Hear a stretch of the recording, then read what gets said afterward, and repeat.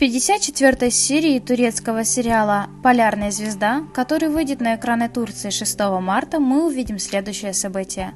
На этот раз Сефир и Нахиде оказались в больших неприятностях. Все дело в том, что после ухода из дома Сефир стал вести бродяжный образ жизни и сам не заметил, как оказался в руках опасных людей. Они представители мафии, которые занимаются продажей органов, и как оказалось, у Сефера с ними все в порядке. Благодаря ему злоумышленники удастся заработать большие деньги. Теперь Сеферу необходимо будет избавиться от их преследования, но сделать это оказалось непросто. Женщина, которая собирается использовать Сефера в качестве донора, поймала его в номере отеля, но неожиданно вошла на Хиде и совсем неправильно поняла ситуацию.